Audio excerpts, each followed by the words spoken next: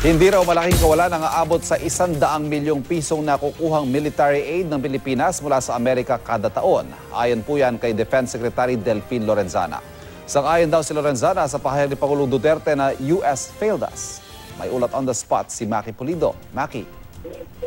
Ivan, palaging sinasabi ng mga opisyal ng gobyerno na nananatiling matatag ang alyansa ng Pilipinas at Amerika sa gitna ng mga pahayag ni Pangulong Duterte. Pero kasabay ng mga pahayag nito, sinabi ni Defense Secretary Delphine Lorenzana na nasabihan na nila ang kanilang U.S. counterpart na ihihinto na ang joint patrol exercise sa South China Sea.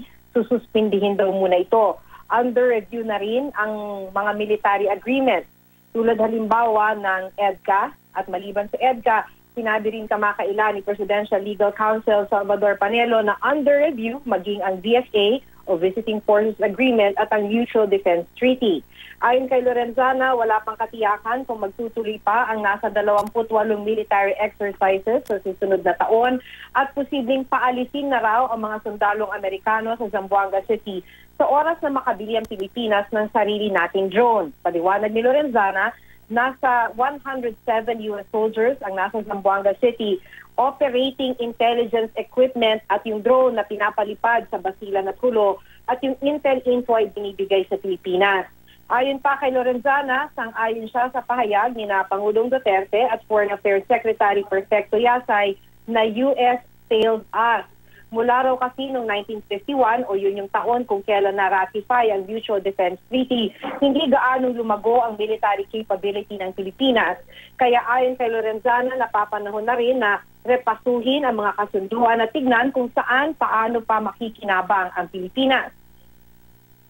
Ayon kay Lorenzana, isa rin ito sa mga dahilan kung bakit ine-explore ang possible alliances sa ibang bansa. 50 to 100 million pesos ang nakukuhang military aid ng Pilipinas mula sa Amerika kada taon. At anya, hindi naman ito malaking kawalan. Masasagot naman ito kung dadagdagan ng Kongreso ang kanilang budget. Kung makikipag-alyansa ang Pilipinas, halimbawa sa Russia at China, pero sinabi naman ni Lorenzana, wala namang inaasahang military aid mula sa mga bansang ito. Pero anya, nag-alok daw magbenta ng military equipment in generous terms. Yun nga lang, kung bibili daw ang Pilipinas ng equipment sa ibang bansa, medyo mahihirapan sa interoperability. Maaari raw hindi compatible ang existing military equipment ng Pilipinas na binili mula sa Amerika sa mga military equipment na gawa ng ibang bansa. Sabi ni Lorenzana, hindi naman talaga binibigay ang mga military equipment, bibilhin at bibilhin pa rin ng mga nangangailangang bansa. Kaya raw ganito magsalita si Duterte, laban sa Amerika ay dahil sensitibo ito sa mga kritisismo sa kampanya kontra droga. Gusto rin daw ng Pangulo ng independent foreign policy. Tingin na Lenzana, ang nangyayari ngayon sa alyansa ng Pilipinas at Amerika ay natural lamang, growing pains, ika nga.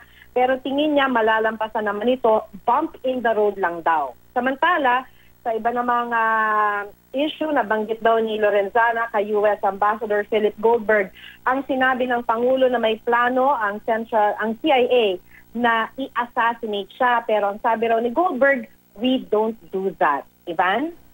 Maraming salamat, Maki Pulido.